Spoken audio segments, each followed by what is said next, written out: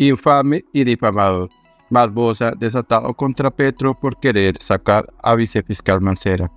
El fiscal general de la Nación atacó fuertemente al presidente después de señalar a la funcionaria de la entidad por presuntos nexos con el narcotráfico.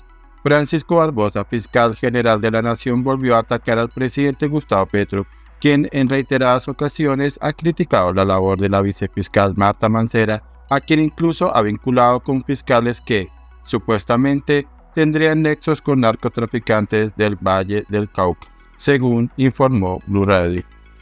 Estos ataques del mandatario se dan justo cuando falta muy poco tiempo para que Barbosa salga de su cargo en la fiscalía, lo que produciría un revolcón en el ente investigador.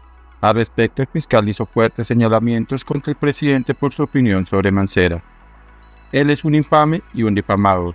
Eso es lo que es. Lo que ha venido haciendo es una estrategia de construir carpetas y procesos contra la vicefiscal para volverla delincuente, faltando un mes para que salga de la entidad y después de que cumplió adecuadamente con su labor judicial desde hace 30 años. El único que ha protegido el narcotráfico es el gobierno nacional, indicó. El fiscal se refirió en la cadena radial a los señalamientos de Petro que recaen sobre Mancera y su supuesta responsabilidad en omitir evidencias contra narcotraficantes del departamento del Valle del Cauca. Se habla de que se perdieron unas pruebas en 2019 cuando no era vicefiscal y acabo de confirmar que las famosas pruebas no se perdieron. Entonces acá han venido estructurando casos de difamación con el propósito de que Marta Mancera no quede al frente de la fiscalía. Y ahora la responsabilidad del proceso contra el hijo del presidente cuando las pruebas las puso fue la esposa de Nicolás Petro, expresó.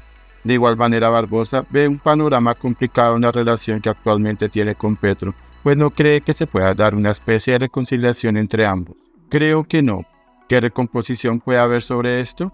Es una persona que en vez de proteger las instituciones, lo que dice es que hay que destruir lo que existe, según dijo en el citado medio.